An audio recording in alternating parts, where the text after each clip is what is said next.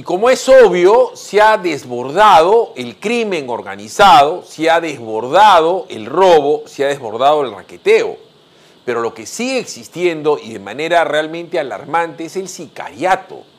Normalmente usted o yo, señor, señora, teníamos en la cabeza que si alguien contrataba a un sicario para matar a otra persona, esa persona estaba metida en un delito muy, muy grave, o manejaba mucha, mucha plata, había, chocan, había estado chocando con chocano con alguien bietonazo. ¿no? Pero fíjense las escenas que vamos a mostrarles en Ancón, ¿no? Unos sicarios matan a unos dirigentes vecinales. Lo primero que se me ocurre es tráfico de tierras, ¿no? O sea, pues, pero matarlo, pero no es así nomás, ¿ah? Entraron y se a tres, ta, ta, ta, al hilo, ¿ah? 6 de la mañana con 23, sicariato en Ancón.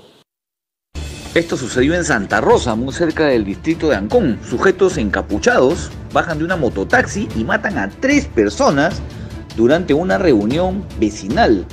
Los asesinatos ocurrieron mientras se llevaba a cabo una reunión de coordinación en el distrito de Ancón.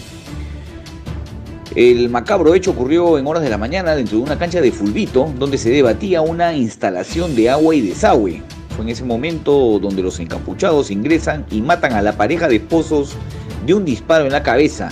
La gente que se encontraba en el lugar intentó agarrar a los delincuentes, sin embargo en su huida los malhechores disparan contra ellos y terminan matando a una tercera persona.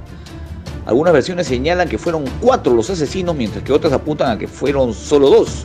Las personas que viven cerca del lugar donde se produjeron los asesinatos están conmocionados e hicieron un llamado a las autoridades para que se instale una comisaría en los alrededores, ya que según indican, el crimen es cosa de todos los días en Santa Rosa. Se presume que el móvil del crimen habría estado ligado al tráfico de terrenos.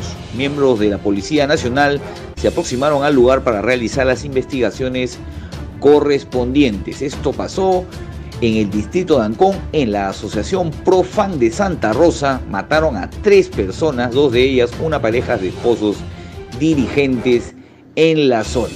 De terror lo sucedido en la mañana en Santa Rosa, Ancón.